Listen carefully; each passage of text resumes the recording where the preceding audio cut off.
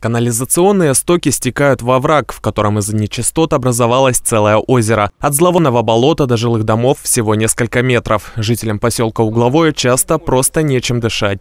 Здесь собираются собаки бродячие, здесь собираются, э, летают вороны, здесь столько мух, здесь, здесь вообще такая антисанитария, и вообще нам не то, что как южный ветер, дышать нечем. Вонь, невозможная вонь.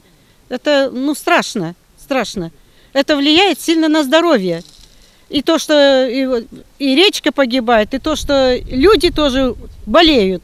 Зловонное озеро образовалось из-за забившейся канализации. Уже 20 лет нечистоты загрязняют местную речку Саперку. Раньше в ней водились раки, лягушки, а красная рыба заходила сюда на нерест. Теперь вся живность погибла. Приезжали люди с санэпидстанции, брали пробы воды, брали пробы грунта. Свинец и цинк здесь зашкаливает. Понимаете? То есть это все люди дышат.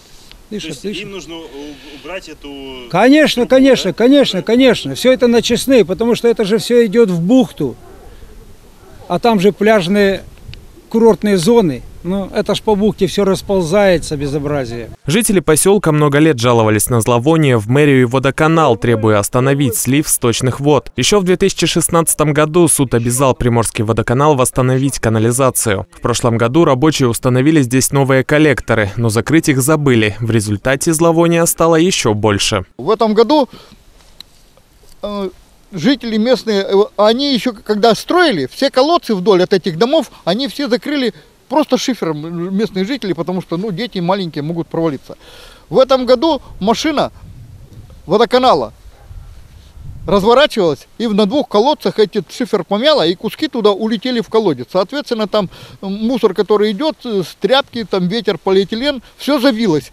И вот когда колодцы эти забились, и вода пошла через верх, и вот от чего и образовалось это озеро. В Примводоканале пообещали, что до конца месяца завершат ремонт канализации, чтобы стоки шли по трубам прямиком в очистные сооружения. Местные жители считают, что этого недостаточно, и сотрудники водоканала должны не только устранить засор, но также осушить болото и очистить от нечистот речку Саперку. Дмитрий Беломестнов, Евгений Апарин. Новости на восьмом.